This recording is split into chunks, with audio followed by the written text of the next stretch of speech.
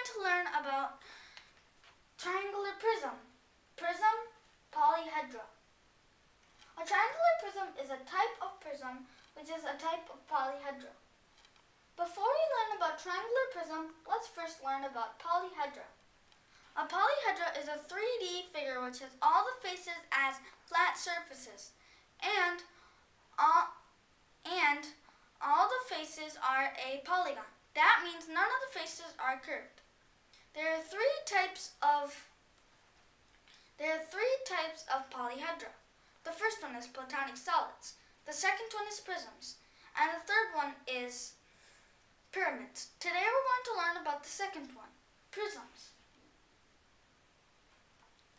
A prism, what is a prism? A prism is a 3D polyhedra which has congruent ends. That means the ends are the same size and shape. The rest of the faces are a rectangle. The second property it has is that it has the same cross section all throughout its length. A cross section is the shape you get when you cut the figure at a point on its length. The third property it has is that it is named, a prism is named by the shape of its end. Like if its end was a triangle, it would be named a triangular prism. Like we're going to talk about a triangular prism. A triangular prism looks like this.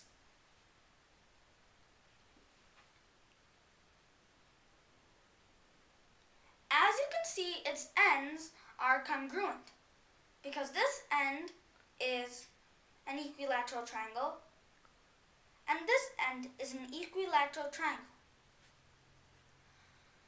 And the rest of its faces are a rectangle. Like this face is a rectangle and this face is a rectangle and the bottom face is a rectangle.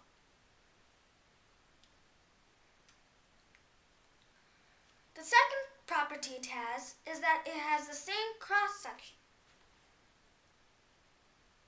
all along its length. So if we cut this triangular prism at the midpoint, our cross section is a triangle. And the last thing, a prism is named by the name of its shape like the end is a triangle, so it's named a triangular prism. Let me show you what I just said on the board.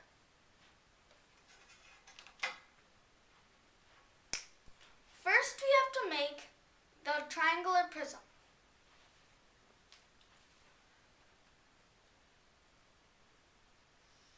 First, make a triangle. Then you put the ridge.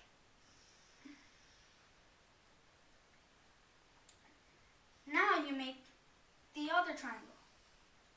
We made triangles because they were the ends, the shape of the ends. Now we make the rest of the faces. Since we're not going to see this face, let's make this line a dashed line.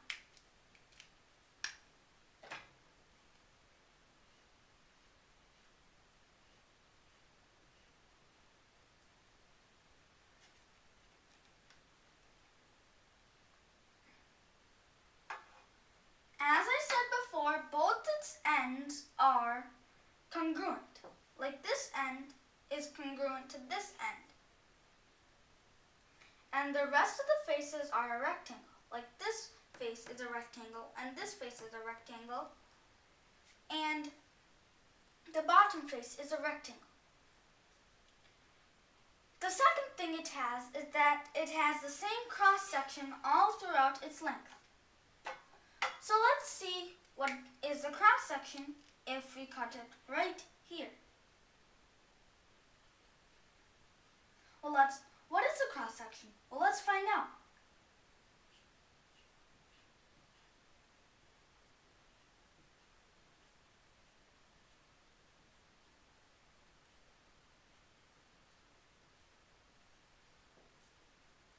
The cross section is a triangle.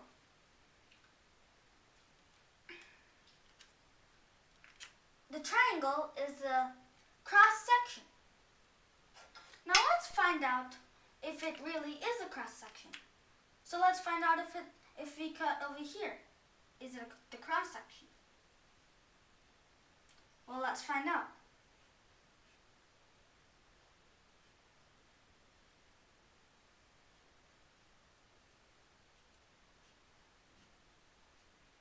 We get a triangle.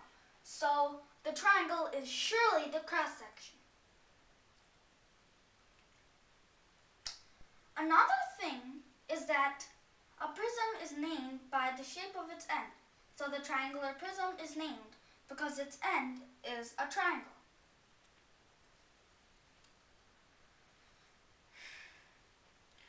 This is the length of the triangular prism.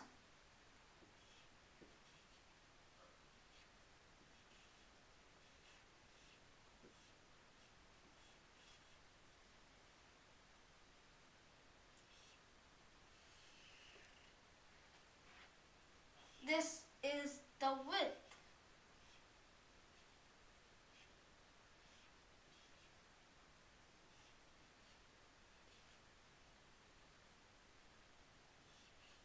A triangular prism.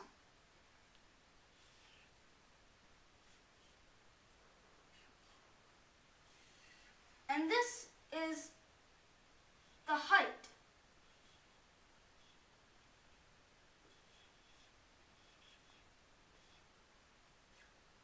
of a triangular prism.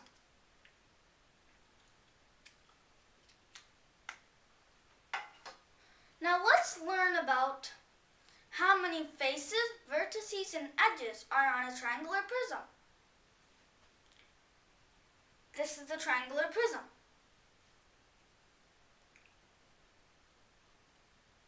Let's first find out how many faces are on it. One on this end, one on this end, and three on the sides. That makes it have five faces. Now let's see how many edges there are. One, two, three on this end. One, two, three on this end. And one, two, three on the sides. That makes it have nine edges. Now let's see how many vertices there are. One, two, three on this end, and one, two, three on this end. So that makes it have six vertices. Today we learned about triangular prism, prism, polyhedra. Thank you for watching this video.